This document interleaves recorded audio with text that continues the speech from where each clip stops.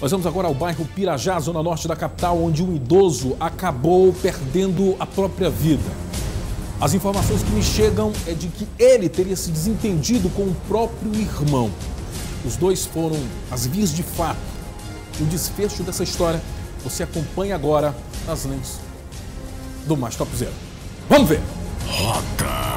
Um idoso identificado como José Ferreira, de 69 anos, foi morto com uma facada no peito no início da manhã do último domingo na rua Sergipe, bairro Pirajá, zona norte de Teresina. O suspeito do crime seria Rogério Antônio do Nascimento, de 53 anos. De acordo com informações, a vítima era irmã adotiva de Rogério e viviam na mesma casa. Ainda de acordo com informações, o criminoso seria usuário de drogas e sem ocupação.